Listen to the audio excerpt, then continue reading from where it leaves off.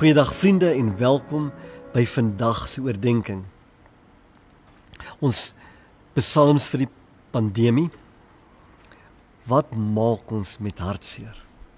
Psalm 126 Verander tog ons lot, Here. 'n Pelgrimslied. Toe het die Here die lot van Sion verander.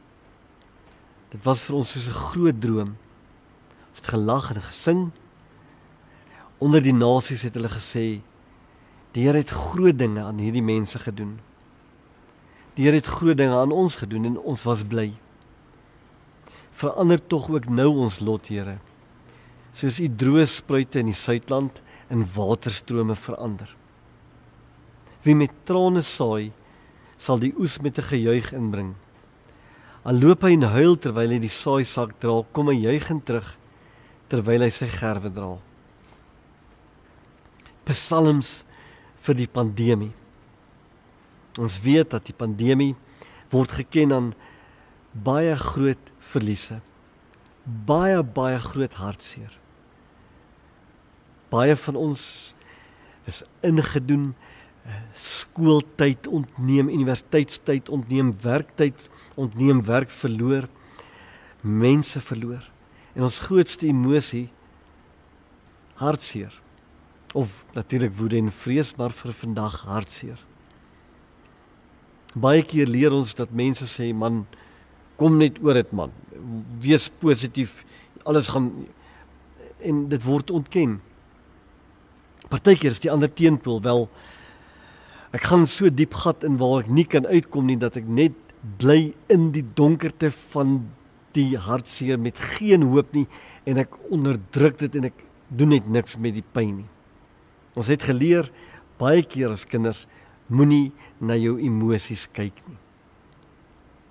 Die psalms gee 'n ander pad. 'n Pad van oorgee. Moenie dit teenstaan nie, werk met jou pyn. Saam met Jesus.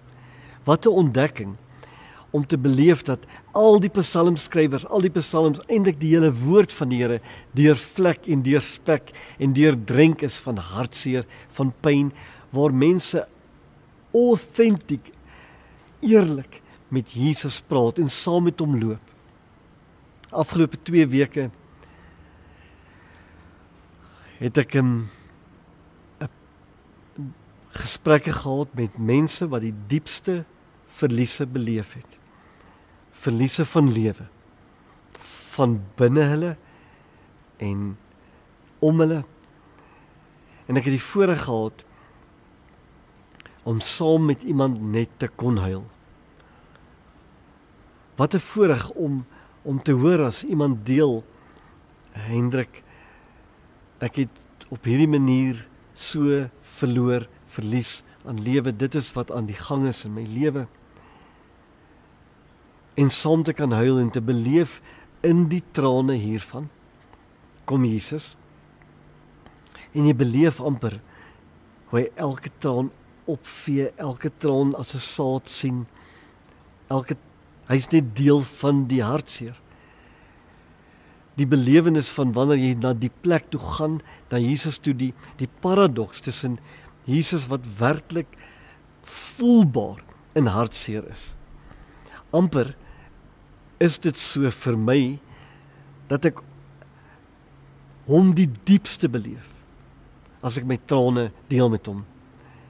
In my bediening het dit gebeur eendag dat 'n jong man op skool uh, tot sterwe gekom het. Op 'n baie moeilike met moeilike omstandighede. Dit was een van die moeilikste gebeurlikhede in my in my bediening. 'n Klomp van sy vriende het gekom en gesê Hendrik, wat wat maak ons met die hartseer? En ek onthou met die wysheid van toe het hy gesê kom ons skryf op 'n manier ons psalms. Kom ons skryf ons pyn neer. En ons vat hierdie briewe na die jong man se familie toe. En ons het gesit en almal het met net ons pyn neergeskryf om te sê ons voel hierdie hartseer. Ons saai met ons trane. En ons kon hierdie boksbriewe van hierdie jong man gaan aflaai en by die familie neerlê en sê ons huil saam. ons beleef saam die intense pyn en hartseer van wat hier gebeur. Sonder om dit toe te smeer met met leefwoorde wat skade doen kon ons net saam huil. En Jesus innooi in hierdie in hierdie beeld. Jesus se beeld. Wie met trane saai sal die oes met 'n gejuig inbring en al loop hy en huil terwyl hy die saaisak dra kom hy juigend terug terwyl hy sy gerwe dra en ek kan nie anders as om om te dink aan Jesus wat op sy kruispad Golgotha moes trane saai en trane vir pyn verduur maar met 'n wete dat ons is sy gerwe.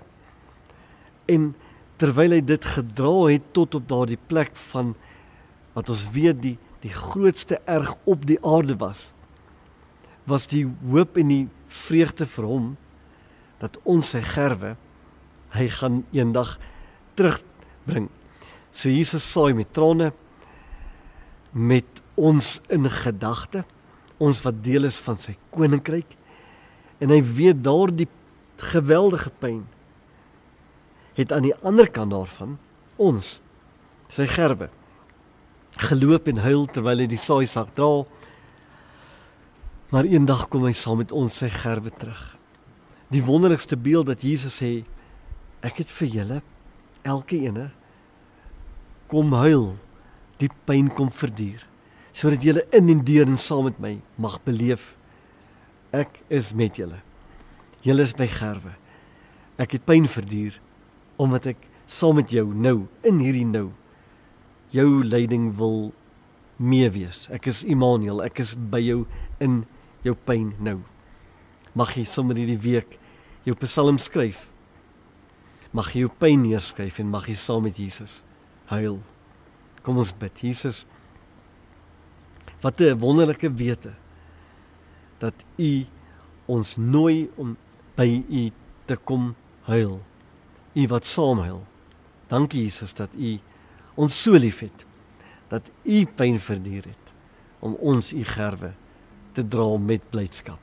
Amen.